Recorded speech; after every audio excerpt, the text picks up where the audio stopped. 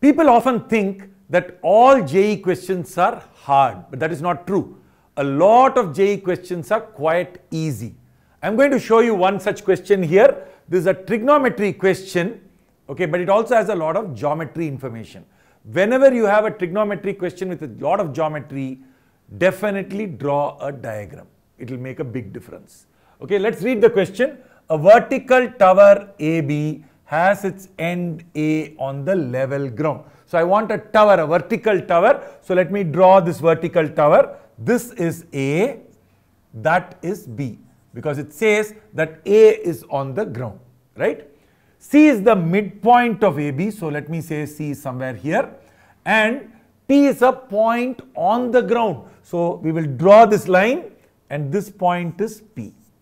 The information that is given is AP is 2 times AB. So if I call AB as H, if I say that this height is h, what will AP be? It has to be 2h. So this is 2 times h.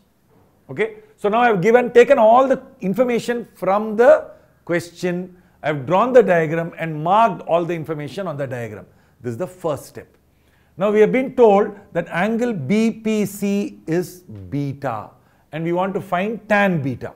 So let us think about BPC. This is B, this is P, this is C. So BPC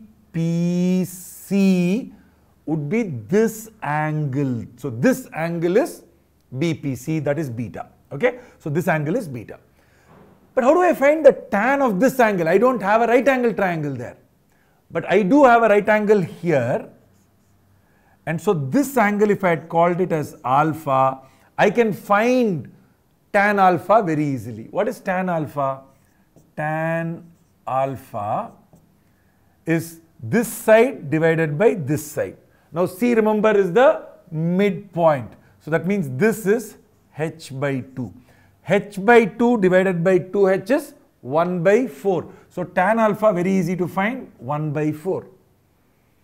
Now I can't still find tan beta but I can find tan of alpha plus beta because if I look at alpha plus beta this side is h this is 2h. So tan of alpha plus beta is h by 2h 1 by 2.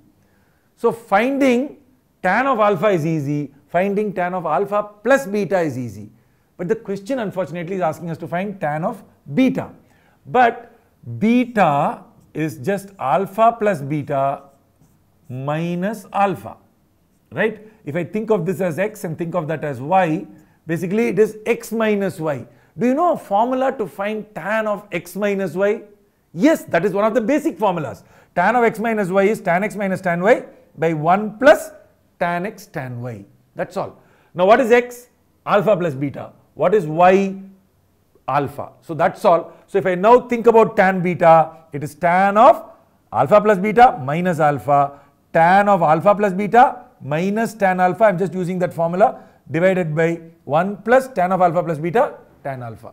Do you know tan of alpha plus beta? Yes, we calculated that half tan of alpha 1 by 4. So all we are doing is to substitute all of that here and we will find tan beta.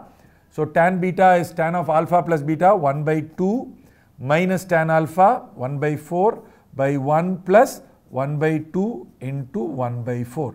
So that is 1 by 4 divided by 9 by 8. So therefore 2 by 9. So we have now found out that tan beta is 2 by 9. If you think about it, a very, very simple question. Once you draw the diagram, the question solution comes to you directly. So whenever you see a trigonometry question, remember you can solve it by drawing a diagram. And also remember, many JEE questions are easy, so don't be afraid of it.